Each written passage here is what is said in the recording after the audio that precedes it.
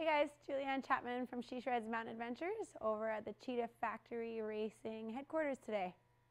Today we are installing my iRack with the Connect system and a couple of snowboard bracket kits.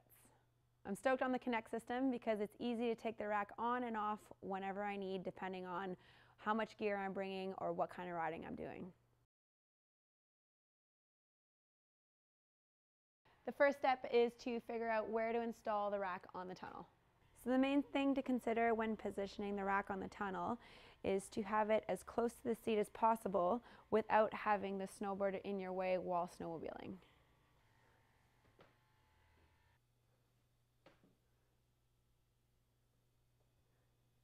We've now figured out where to position the rack on my sled and we are going to install it now.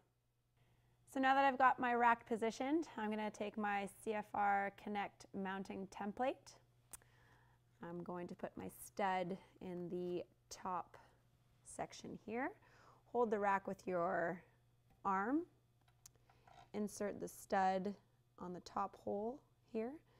Make sure everything is nice and straight. From here, I'm going to grab my punch tool with a little pointy end, hold it in place, take my hammer, and give it one good tap. Now that I've gotten my one center hole punched, I'm going to go around to the other three and mark those. If you're worried about the rack moving, just get a buddy to hold it in place to make sure it doesn't move around on you.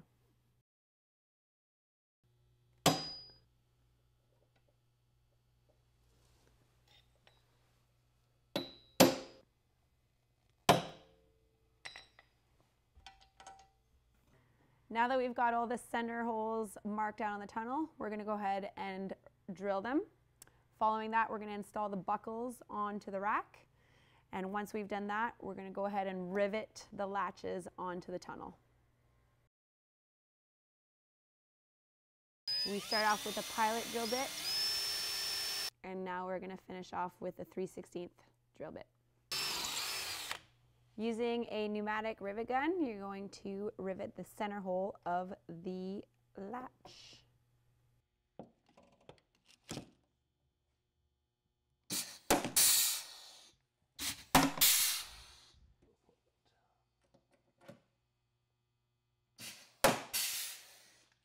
We're bringing the rack over to align the buckles and the latches next. Now that we've aligned the buckles and the latches, we are going to secure it to be able to punch the remaining two holes on the latch.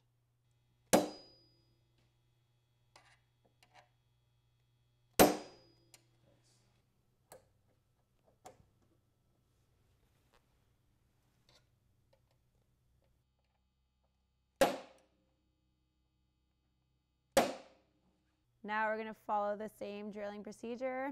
Drill in a pilot hole, followed by a 3 16th drill bit.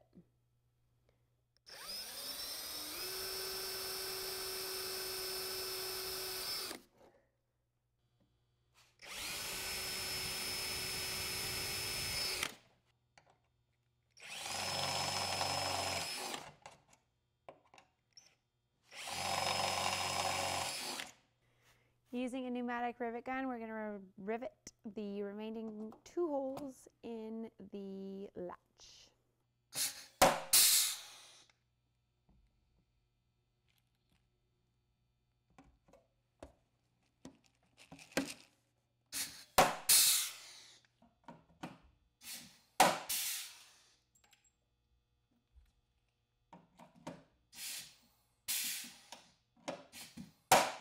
Final step is putting the rack on, latching her down.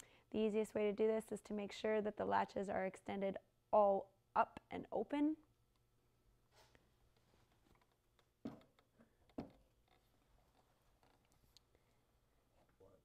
We're just going to clamp her down and then we're ready to rock and roll.